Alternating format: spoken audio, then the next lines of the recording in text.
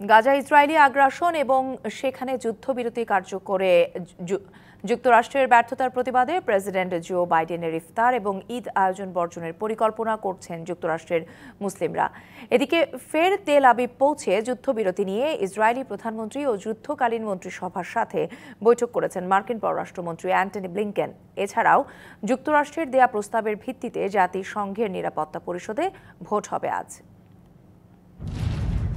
গেল বছরের সাতই অক্টোবর হামাসের নজিরবিহীন হামলার পর গাজায় চালানো ইসরায়েলি আগ্রাসনে এ পর্যন্ত প্রাণ গেছে একত্রিশ হাজারের বেশি ফিলিস্তিনির। বিভিন্ন পক্ষের নানা উদ্যোগের পরও যুদ্ধবিরতি কার্যকর করা যায়নি। এবার ফের গাজায় যুদ্ধবিরতি নিয়ে ইসরায়েলের সঙ্গে আলোচনায় বসতে তেল আবিব পৌঁছেছেন মার্কিন পররাষ্ট্রমন্ত্রী অ্যান্টনি ব্লিংকেন। এর আগে মিশর ও কাতার সফরে আরব নেতাদের সঙ্গে বৈঠকে সংকট সমাধানে আবারও দুই রাষ্ট্রর নীতির প্রতি সমর্থনের কথা জানান ব্লিংকেন। তবে গাজায় যুদ্ধবিরতি ইস্যুতে মার্কিন প্রশাসনের নেওয়া পদক্ষেপে সন্তুষ্ট নয় যুক্তরাষ্ট্রের মুসলিমরা। আর তাই হোয়াইট হাউসে প্রেসিডেন্ট বাইডেনের ইফতার ও ঈদ উদযাপনের আয়োজনে যোগ না দেওয়ার পরিকল্পনা করছেন তারা.